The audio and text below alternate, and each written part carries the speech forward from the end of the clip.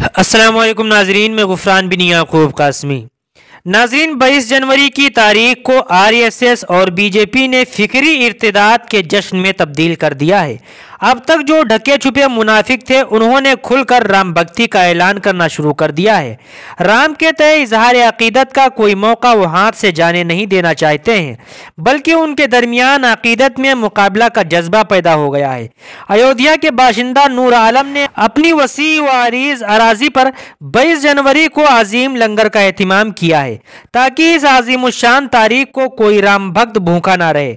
मुरादाबाद के शोएब साहब पीतल का कारोबार कर करते हैं। आजकल पीतल से बना हुआ राम मंदिर का मॉडल ज़ोर शोर से तैयार कर रहे हैं। इसमें मोदी जी की तस्वीर भी जड़ी हुई है। उनका कहना है कि अभी इस मॉडल की ज़बरदस्त डिमांड है। हमारे लिए फ़ख्र की बात है, हमें सेवा करने का मौका मिला है। कानपुर के रहने वाले फैयाज राठौर सिक्कों का कारोबार करते हैं।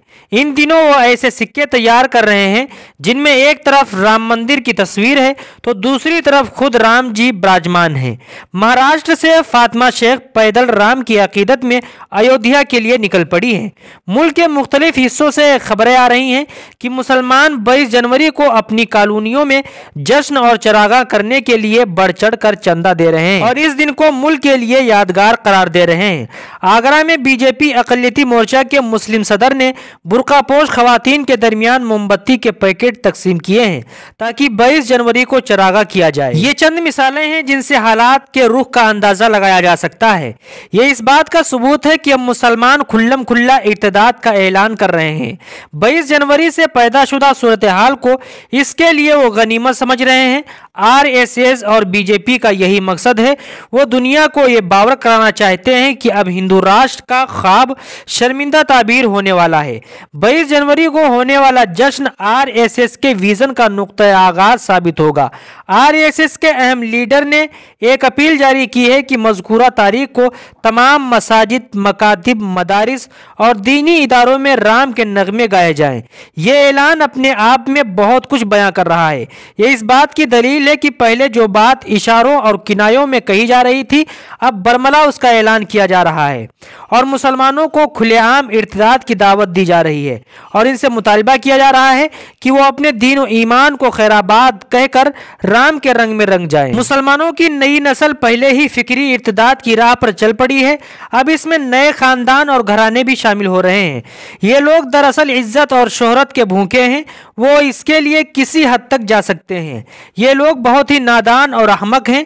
इनको मालूम नहीं कि शिरक की पनाह में कभी भी इज़्ज़त हासिल नहीं हो सकती।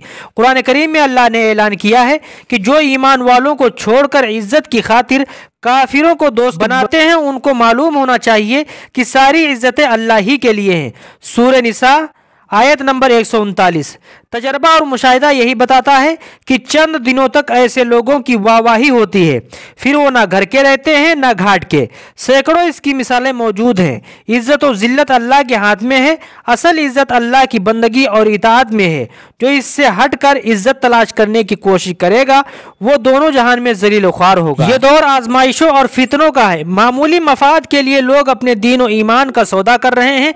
ऐसे पुरफितन दौर में उलमा कायदीन और बाश शूर हजरात की ज़िम्मेदारी है कि वो अपने भाइयों की वो अपने भाइयों के दीन ईमान को बचाने की फ़िक्र करें। जुमा के बयान में खुलकर तोहीद की अहमियत और कुफ्र की शनात पर गुफ्तु की जाए। वक्त के बुजहल और बुलहब के सामने बेबाक अंदाज में बगैर किसी लाग लपेट के हक का ऐलान किया जाए। यही वक्त का तकाजा और ईमान का मुतालबा है। अल्लाह हमें तोफीक दे।